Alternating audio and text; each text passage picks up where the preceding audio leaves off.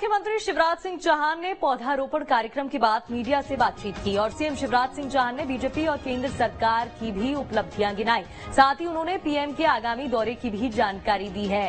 तो पौधारोपण करने के बाद मुख्यमंत्री शिवराज सिंह चौहान मीडिया से मुखातिब हुए। साथ ही उन्होंने पीएम के आगामी दौरों की भी जानकारी दी। प्रधानमंत्री नरेंद्र मोदी, जो मध्य प्रदेश दौरे पर कई बार आ चुके हैं, विधानसभा चुनाव है, इस साल की ही बात करें तो कई दौरे उनके हो चुके हैं और ऐसी संभावना है कि आने वाले समय में वो फिर से प्रदेश आ सकते हैं, उनका आगमन हो सकता है, जिसकी तैयारियाँ भी हो रही है और आगामी दौरों की जानकारी भी सीएम शिवराज सिंह चौहान ने दी। तो बीजेपी और केंद्र सरकार की भी उपलब्धियाँ गिनाई। प्रदेश के विकास पर सीएम ने बयान दिया।